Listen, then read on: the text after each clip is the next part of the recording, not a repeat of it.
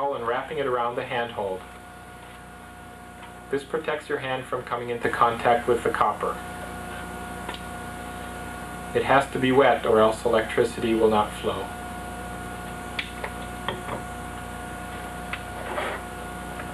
Next, turn on the speaker and turn the volume up almost halfway. Turn on your Syncrometer. Briefly touch the probe to the handhold. You should hear a cracking sound like popcorn.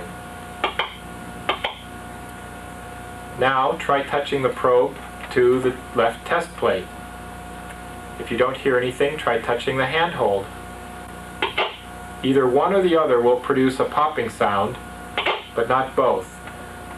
Whichever one produced the sound, use that to touch the right hand test plate. That one will only produce a popping sound when the switch is on.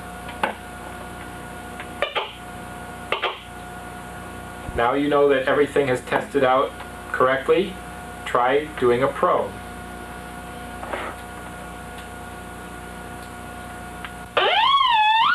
Adjust the volume of the speaker as necessary.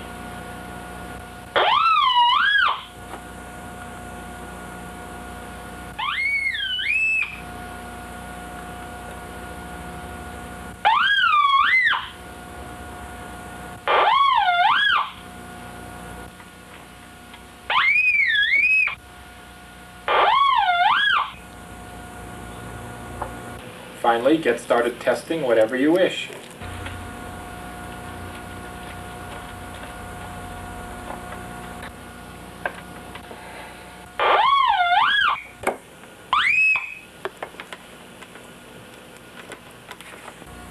I hope you've enjoyed learning how to use a Syncrometer and learning how to build one. For less than $35 in parts, you can build your own Syncrometer that works just as well as the ones that we use in our training classes.